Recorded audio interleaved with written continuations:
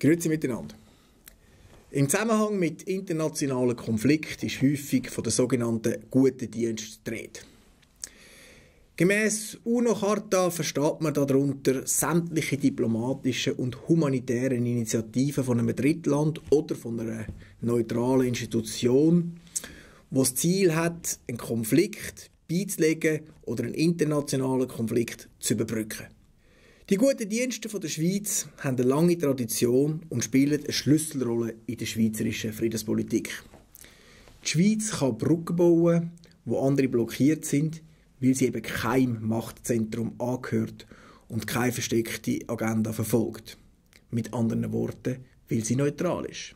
Neutral ist dabei nicht, wer sich für neutral erklärt oder sich für neutral haltet, sondern wer von den Konfliktparteien als neutral anerkannt wird. Neutralität ist also etwas Anstrengendes und muss immer wieder erklärt werden. Die aus ihrer permanenten Neutralität fließende Glaubwürdigkeit hat die Schweiz schon früh zu einer bevorzugten Trägerin von derartigen guten Diensten werden lassen.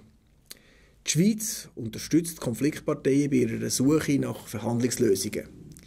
Sie selbst steht für Mediationen zur Verfügung oder unterstützt Verhandlungen und Mediationen von anderen Staaten oder internationalen und regionalen Organisationen. Als Schutzmacht nimmt sie auch die Interessen von fremden Staaten wahr. In einer früheren Phase hat die Schweiz vor allem als Standort für die internationale Schiedsgerichtsbarkeit gute Dienste geleistet. Das historische Lexikon der Schweiz verweist auf die grossen Vergleichs- und Schiedserfahrungen innerhalb der alten Eidgenossenschaft, wo die Schweiz für die Rolle geradezu prädestiniert hat. Diese Aufgabe ist dann allerdings durch neu geschaffene internationale Gerichtshöfe in den Hintergrund geraten. Wie erwähnt, hat die Schweiz auch sich eine grosse Kompetenz äh, können erwirtschaften als Vertreterin von fremden Interessen. Sie hat versucht, als Schutzmacht ein unerlässliches Maß an Kontakt zwischen zwei Staaten aufrechtzuerhalten, wenn die Staaten ihre Beziehung längst abgebrochen haben. Erste Erfahrungen auf diesem Gebiet hat die Schweiz gemacht im Deutsch-Französischen Krieg von 1870 und 1871. Im Ersten Weltkrieg sind es bereits deutlich mehr gewesen, und im Zweiten Weltkrieg mit wechselseitigen Vertretungen von insgesamt 35 Staaten hat es einen absoluten Höhepunkt gegeben. Heute vertritt die Schweiz beispielsweise noch die Interessen der USA im Iran. Auch wenn die UNO heute einige Aufgaben der guten Dienst selber wahrnimmt, gibt es immer wieder Konflikte, wo neutrale Staaten besser vermitteln können. Der Grund liegt auf der Hand.